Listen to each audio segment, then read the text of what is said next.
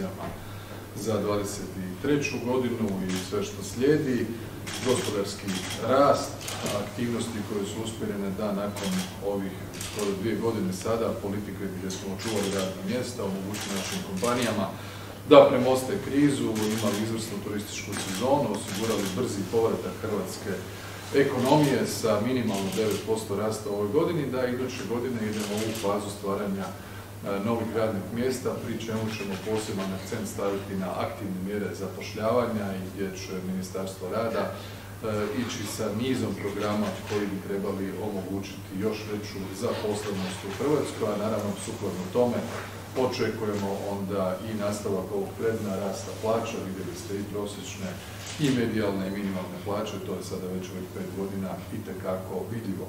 Od ostalih tema raspravili smo i brojne međunarodne aktivnosti, osvrtno ovaj posjet koji je bio Crnoj Gori prošloga tjedna i sastanak Europske inicijative i pitanje e, podrške snažne Hrvatima u Crnoj Gori koja je za nas posebno važna i značajna.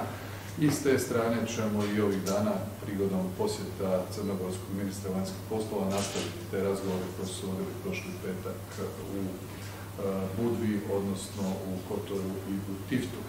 E, danas je, kao što znate, bila sjednica vlade, čuli ste ministra Čorića, dvije važne teme, usvojili smo od ovih brojnih amandmana koji su bili podneseni na proračun 9, četiri sa strane parlamentarne većine, pet iz oporbe, e, prihvatili smo ono što smatramo da je korisno i da je dobro, e, tako da vjerujem da će proračun biti izglasan u srijedu. Pitanje ograničenja cijena naftnih derivata, nakon što smo pravodobno reagirali i spriječili rast cijena goriva i za naše građane i za gospodarstvo, sada kada imamo više nego jasan signal o trendu koji će se promijeniti, dakle gdje će cijene biti niže, ukinuli smo tu uredbu, odnosno stavili van snage i na taj način prepuštamo tržištu naravno da regulira cijenu goriva. Mislim da je to dobro i korisno. Ah, prima, ne? Pitanja? Äh, Izvolite.